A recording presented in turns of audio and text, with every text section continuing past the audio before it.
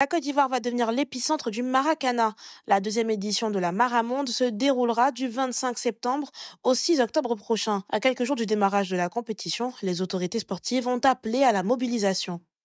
Je voudrais lancer un appel à chacun de vous, à toutes les forces vives de la nation, pour qu'ensemble nous fassions de cet événement une réussite éclatante. Que chaque Ivoirien, chaque acteur de l'écosystème sportif joue sa partition pour qu'une fois encore, la Côte d'Ivoire soit au rendez-vous de l'excellence en matière d'organisation sportive. Nous n'avons plus le droit de reculer. L'occasion également de dévoiler quelques détails sur le déroulement de la compétition.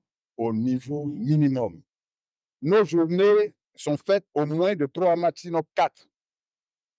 Quatre matchs par jour, à compter du premier jour et les deux, le premier jour et le dernier jour, donc l'ouverture et la clôture, les tickets partent de 10 000 francs à 3 000. Trocaper Abounegué, le ballon de ce tournoi, ainsi que les maillots des éléphants maracaniers ont été présentés à la presse et présidents de fédération. 16 pays répartis dans quatre poules tenteront de remporter cette compétition.